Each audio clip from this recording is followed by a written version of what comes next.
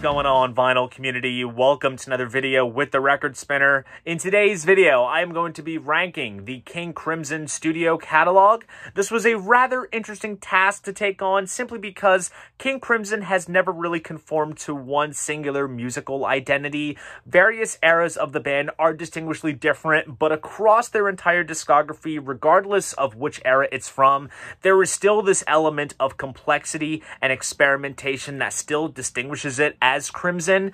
And throughout this ranking, I am also going to be pointing out the lineup that has appeared on each record because there seems to be more King Crimson members than there are albums. And it just goes to show that King Crimson is very much a collective of musicians, and each member provided something unique and worked in their own abilities to the structure of King Crimson's music. Now, let me emphasize by saying that this ranking is solely my opinion. It is neither right or wrong. If you think Islands is their best album, then I respect your opinion, but who knows? Maybe we'll see eye to eye on some things. But enough of the chit chat. Let's jump into what this video is all about. So there are 13 King Crimson studio albums, and coming in at number 13 at the bottom of the barrel is this one.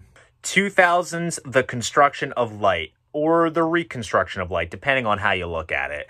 Um, this features the double duo lineup of Adrian Belew, Robert Fripp, Trey Gunn, and Pat Mastelotto. And honestly, I found this album to be very musically dense. I found it kind of lacking melody in places, and it sounds like the band is kind of unsure on where to take their musical direction. And you would think before this album, uh, with the various projects that the band had done, um, they would find some sort of common ground, but that wasn't really the case. Um, and also, another factor that kind of affected the overall vibe of this album was the fact that they didn't really road test any of the tunes prior to recording, because that's something that King Crimson always did. They would always perform new stuff in a live setting because they are a fantastic live band. So right off the bat, with them not playing the stuff live before release and kind of testing out, you know, the arrangements and everything, they found themselves working in a very different musical environment, which I feel kind of just affects this album overall. And from a production standpoint, um, Pat Mastelotto's usage of the Roland V drums kind of give this unnatural kind of drum sound to it, which affects the overall production. But coincidentally, when the album got remixed uh, for stereo and 5.1, they could not locate the drum tracks. So I guess it was a kind of a blessing in disguise that Pat Mastelotto actually reimagined his drum parts and re-recorded them using natural drums, and that became released as the reconstruction of Lights.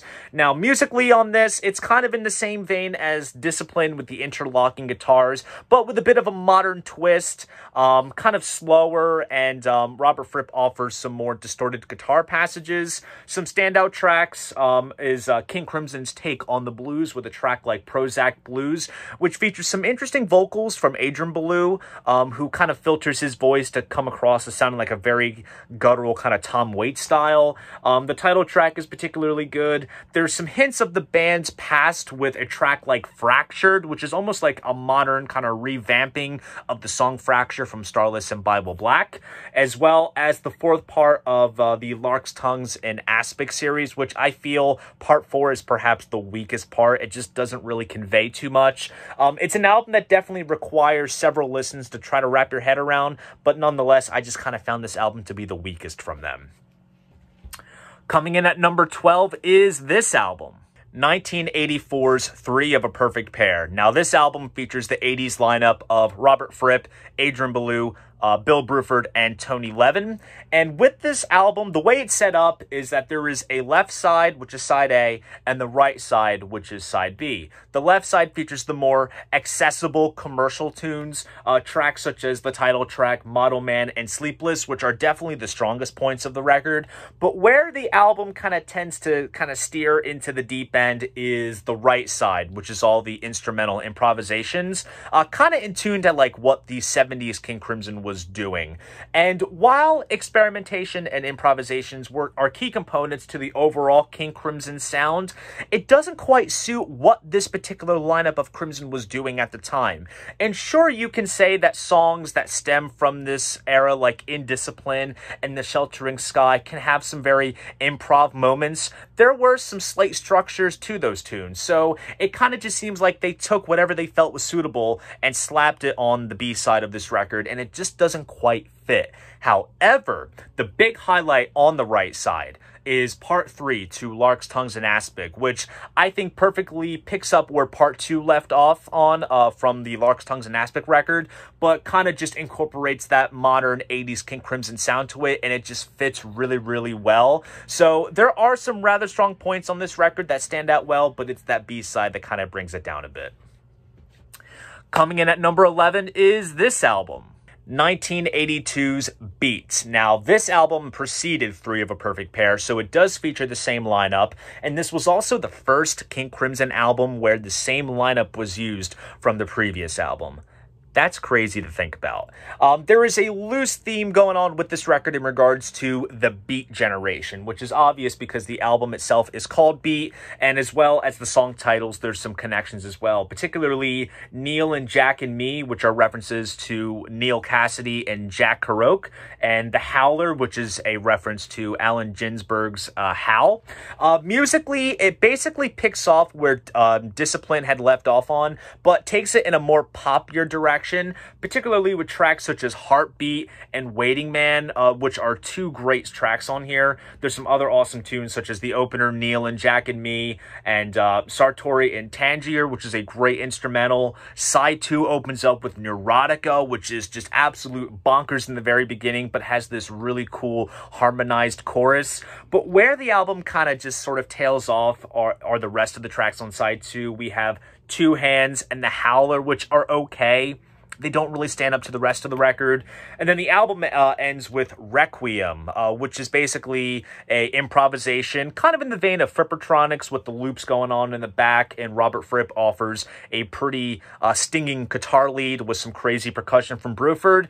It's a rather decent record for basically the first half, and then it kind of just veers off from there. Coming in at number 10 is this album. 2003's The Power to Believe. This features the double duo lineup of Robert Fripp, Adrian Belew, Trey Gunn, and Pat Mastelotto. And as of filming this video, this is currently King Crimson's last studio album. And compared to what had come out before this record, being 2000's The Construction of Light, this is a huge improvement It almost has this sort of industrial metal edge to it Perhaps because around at the same time when this album was being worked on, uh, King Crimson had done a tour with Tool. So they perhaps took some notes off of them and incorporated some new elements into their sound. And in terms of the structure of this record, I kind of got the vibe of In the Wake of Poseidon, particularly how we have The Power to Believe parts 1 to 4 kind of interlaced throughout the record, similar to what Poseidon has with the song Peace. And also, it just seems too much of a coincidence because part 1 is a cappella, just like Peace, a beginning on Poseidon. And then it kicks right into level five, which is basically Lark's Tongues in Aspic Part 5, which is just this absolutely heavy, muscular tune with some great distorted guitars and some great lead work from Adrian Belew. Uh, then it kind of soothes down into Eyes Wide Open, which is a really awesome soothing tune. Uh, then we have the interlocking guitars with electric. Then it goes into Facts of Life. Uh, we have a track called Dangerous Curves, which starts out very kind of ominous and then it builds right up and explodes into the next track with Happy with What You Have to Be Happy With, which features some very interesting lyrics from Adrian Belew about how we, we have the first verse, we have a distortion box to make them menacing, we go right into the chorus. It's rather interesting. Um, and then um, The Power to Believe Part 3 is actually a reworking of a song slash improvisation uh, that Crimson would do live around the time called The Deception of the Thrush, which is kind of a key track from this sort of later era of Crimson. So it's really cool that um, it's featured on the record. And honestly, if this turns out to be King Crimson's last studio album, I think they wrapped it up on a rather high note because this album is absolutely solid. Coming in at number nine is this album.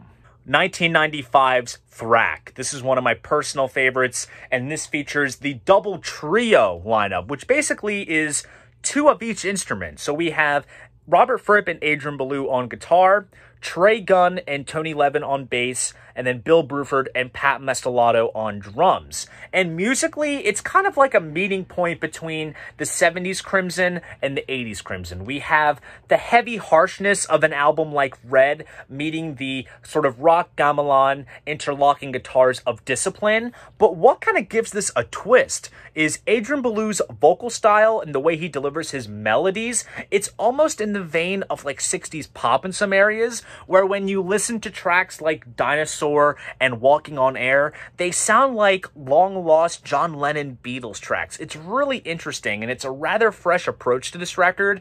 Um, there's also some other great instrumental moments on here, such as Ba-Boom, which is basically like a drum showcase, and then the title track Thrak, which was basically um, an improvised piece live on um, on stage, but using the same kind of motifs from the beginning of the song itself.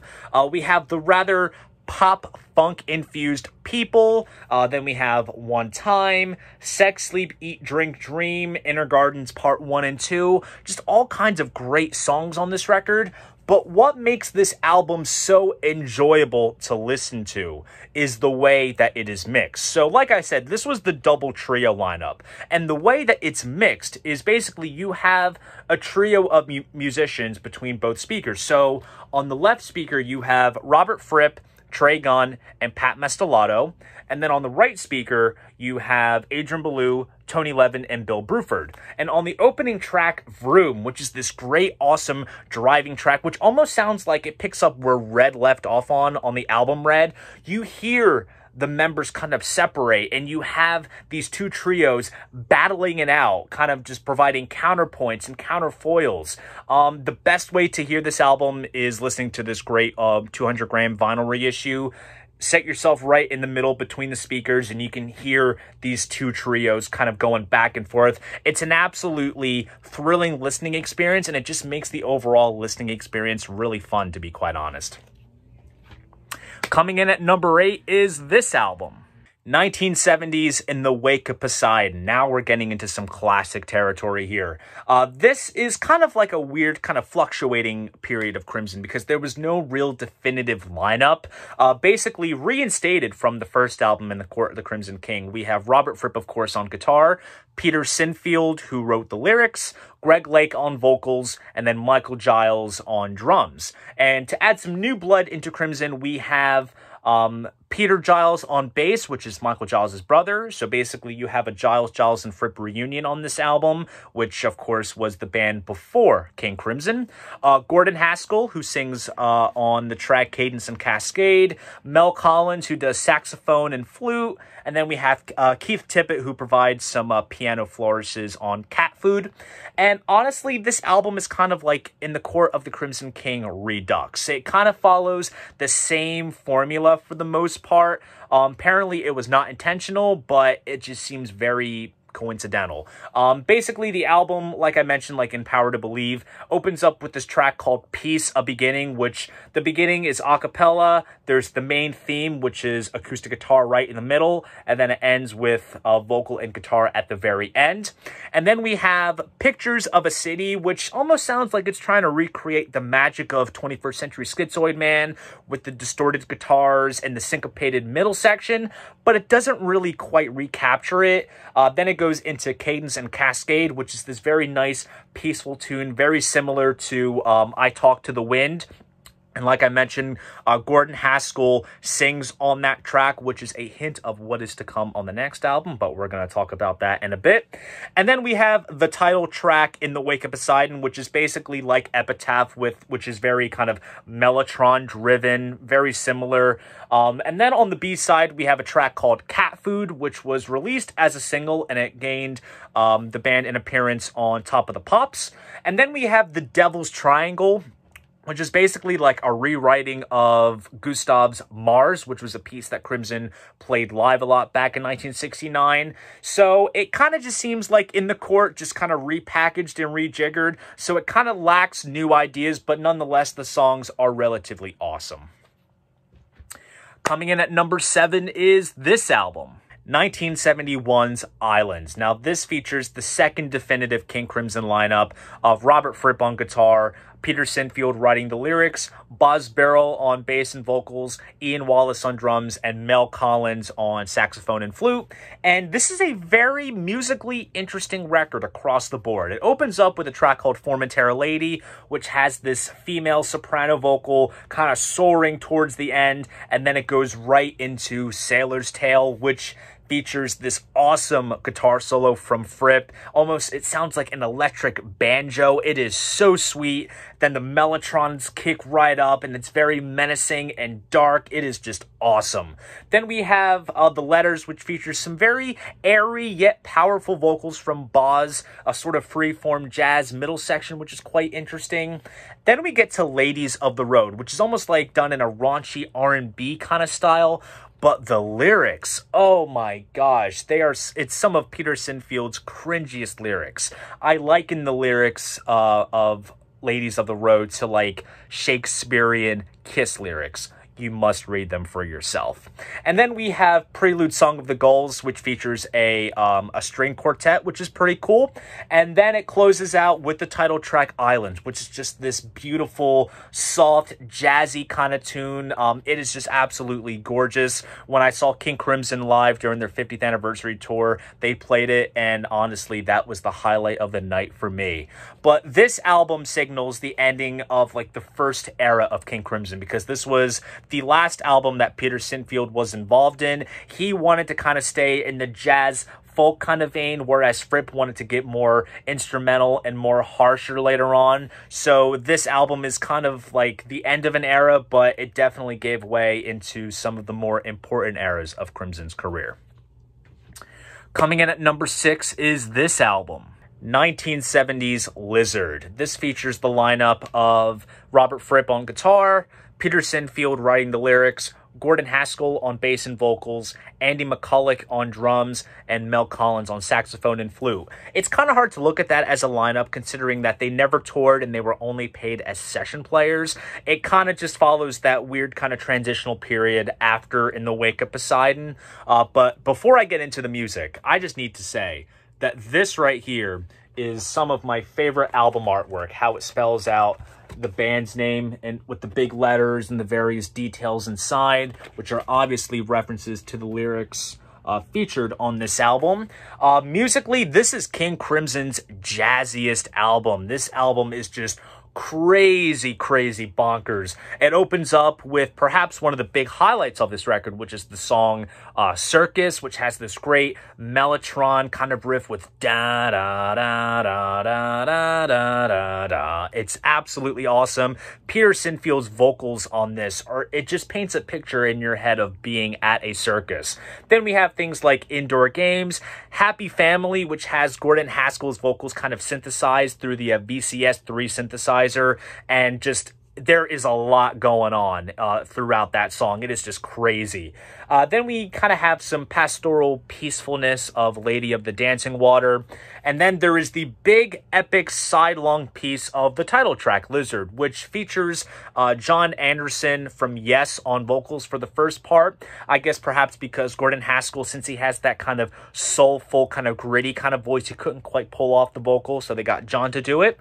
Uh, then there is the kind of classical meets jazz-infused bolero in the middle, which is just absolutely beautiful. And then we have um, the Battle of the Glass Tears, which basically just kind of wraps up the entire thing. And uh, this is an adventurous album to listen to, but it is crazy with the arrangements in terms of the production, uh, which is why I believe just that, that original mix just sounds so cluttered. And maybe that's why Robert Fripp had always kind of... Um, spoke out in terms of his distaste for this record. Uh, but it wasn't until the Steven Wilson remix uh, from, I think it was 2009, 2010 that Fripp had said, quote unquote, he heard the music in the music. And he's right. It just allows the record to breathe a bit more. So I would say if you're going to experience this album, I would say check out the Steven Wilson remix because it is quite, I would say, better than the original mix. But it is musically adventurous. It's one of my personal favorites. And it is just, like I said, absolutely crazy but enjoyable at the same time.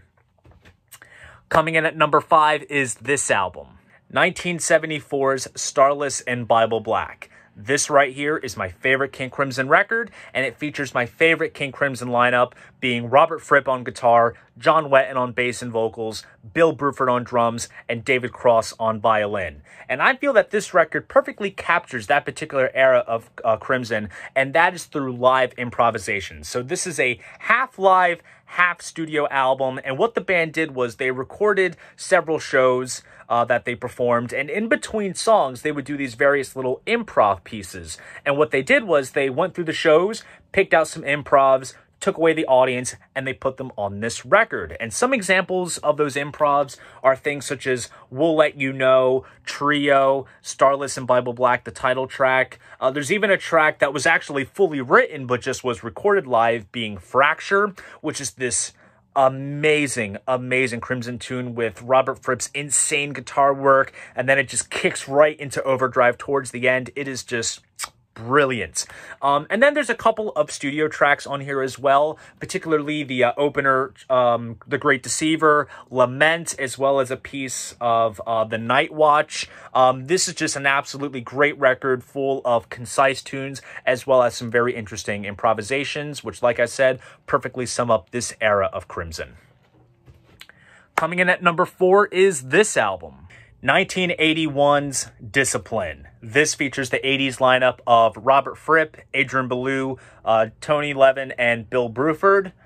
Out were the Mellotrons, in were the times. And this is why I feel that King Crimson is perhaps the most truest progressive rock band ever because they were a band that was always adaptive to the times. So this album features a more kind of new wave-ish kind of sound, which is a total 180 compared to what we had been associated with when it came to other Crimson albums from the 60s going into the 70s. And an opening track like Elephant Talk, which features kind of David Byrne-esque kind of style vocals from Adrian Belew, must have shocked fans at first, but once you get to tracks like Frame by Frame and My Matte Kudasai. Um, Adrian offers this very nice sort of melodic approach to his vocal style, which is completely different in, in a way to what we had seen with vocalists like Greg Lake, Boz Burrell, and John Wetton. But still, musically, it is very Crimson because it has that element of experimentation and improvisation, particularly on tracks like Indiscipline and The Sheltering Sky. Uh, there's also the song Thela Hun Ginjeet, which has um, a spoken word bit by Adrian Belew recounting a time when he um, encountered a gang and he was explaining his experience, not knowing that Fripp was recording the entire thing. So it adds this sort of interesting kind of sense into the track. And I can only begin to imagine what a Crimson fan from like 74 uh, listened to this album when it came out and realized that it was a totally different band. And that's why I feel that Discipline is the most challenging and important album to listen to in the Crimson discography because if you can wrap your head around the new sounds that they were working with at this time, you will begin to appreciate the future albums that would eventually follow. Coming in at number three is this album. 1974's Red. Now, the band is basically a trio at this point. Uh, we have John Wetton, Bill Bruford, and Robert Fripp. And we do have some contributions from David Cross, who was kicked out of the band prior to recording this record. Uh, and we also have some contributions from King Crimson alumnus, such as Mel Collins and Ian McDonald on saxophone. And this album is King Crimson going in a more heavier kind of direction, particularly on the title track Red, which was written by Robert, which has this aggressive guitar riff, the da da da da da da da da da da da da. It is just absolutely ripping. And then we have things like Fallen Angel, One More Red Nightmare, which is amazing. We have a live improvisation called Providence, which was recorded at a show in Providence. And then we have the epic Starless, which starts out very melancholic for the first four minutes with some great melodies from Robert Fripp. And then there's the middle section, which kind of starts out very small and then it builds up and then it just explodes to include this amazing saxophone work, repeating motifs and melodies from the beginning of the track. It is just absolutely powerful, powerful stuff. And a lot of people point to this album as being rather significant and for being one of their finest, at least in my opinion it is. A lot of people tend to think that it's kind of overrated. I see it as quite, you know, accessible in some areas because it is indeed King Crimson's most I would say, polished sounding album from this early era because King Crimson albums in general always were recorded rather well, but the production on this album is jacked to the nines. We have layered guitars on tracks like Red. We have the added hand claps to things like One More Red Nightmare. Um, just some rather interesting stuff. And this was also the last uh, King Crimson album to come out in the 70s, back when Robert Fripp said back then that King Crimson, after the release of this record, ceased to exist. Coming in at number two is this album, 1973's Larks, Tongues, and Aspic. This album signals a new era of Crimson with the lineup of Robert Fripp on guitar, John Wetton on bass and vocals, Bill Bruford on drums, David Cross on violin, as well as Jamie Muir on percussion. And honestly, even though Jamie Muir only appears on this record and he only did, you know, the handful of, you know, European dates around this time frame, it's it's a small, you know, snapshot in time. I feel that his contributions are quite integral because from this point on, and particularly when it comes to like the percussive aspect of Crimson's music, there were always little bells and whistles going on. And it's all thanks to Jamie's contributions that he kind of left his mark and they had to fill that void somehow with Bruford or Pat Mastelotto or any drummer that has appeared recently in Crimson. And um, what an album this is. It starts off with Lark's Tongues in Aspic Part 1, which kind of, your ears get settled for the first couple minutes with the African thumb piano and the violin and the cymbal flourishes. Then the violin creeps right in, the band crescendos, and they just explode into this powerful riff, which almost is reminiscent of 21st Century Schizoid Man. Not exactly trying to kind of recreate the magic of it, but it delivers that same amount of power. Then we have a track um, called Book of Saturday, which features Fripp on guitar and John Wetton singing with some violin, which is very beautiful. Um, Exiles, which is another wonderful track with Mellotron and a nice uh, violin melody going on. Very beautiful stuff. Uh, perhaps one of the more recognizable tunes on this record for maybe the casual fan is a track called Easy Money. Then we have the talking drum, which crescendos just like almost, you know, like like the opening track. It crescendos right onto the big climax of the record, which is Lark's Tongues in Aspic Part 2, which is just an absolutely fantastic closure. Probably uh, the most recognizable part of the whole uh, Lark's Tongues in Aspic series. And stylistically, uh, Fripp wanted to kind of get more of a sort of European improvisational kind of direction, similar to what he was kind of doing on a track like Sailor's Tale uh, on Islands. And uh, he definitely fulfilled that, and it charted a new era of Crimson, and uh, it definitely left its mark on their career as it is one of their finest albums. And that leaves the number one spot left for one more album. And honestly, guys, you saw this coming. 1969's In the Court of the Crimson King. We have the first lineup of Robert Fripp on guitar, Peter Sinfield writing the lyrics, Greg Lake on bass, Michael Giles on drums, and Ian McDonald on saxophone and flute. Do I need to say anything about this record? Absolutely not. This is one of the most influential rock albums of all time. This is an album that I think every vinyl collector or music lover should own. Um, it is game changing. It is the birth of progressive rock. I mean, granted, you know, we we had seen some hints of what was to come with things like Sergeant Pepper, Procol Harum, and the Moody Blues, but these guys, they were completely different from everyone else that was on the scene. This is the birth of progressive rock. This is the game changing moment. Opens up with 21st Century Schizoid Man, which is just powerful by all means with the distorted guitars, Greg Lake's uh, distorted vocals, um, then the syncopated middle section, which no other band did back then, which is absolutely insane. We have the beautiful I Talk to the Wind, which has some nice um, harmonized vocals uh, by Ian McDonald and Greg Lake in the verses. And then we have Epitaph, which is this this dramatic piece driven by Mellotron with some of the most haunting lyrics I've ever heard in my life. I'm just going to recite a couple lines. The wall on which the prophets wrote is cracking at the seams. Upon the instruments of death, the sunlight brightly gleams back in 1969, it was all peace, love, and whatever that this was the total opposite. This was getting onto some darker, more serious level, and it is just amazing. And hell, even like when Greg Lake sings a lyric like, but I fear tomorrow I'll be crying. Yes, I fear tomorrow I'll be crying. I even shed tears. It just hits that hard.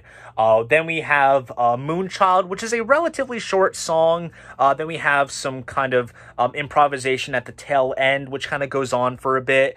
But then it reaches the climax of the song, The Court of the Crimson King, with those amazing um, harmonies and the great flute solo right in the middle. And right when you think the song is over, you hear the reeds kind of going off at the very end and the band kicks right in with the uh, with the key modulation and does the main riff again and it is amazing. This is just an absolutely magical record.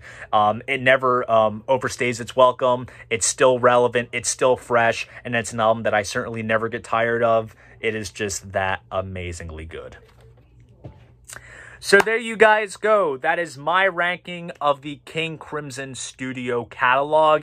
If you enjoyed this video, please go ahead, give it a like, subscribe to the channel. And if you want to support this channel, be sure to check me out on Patreon.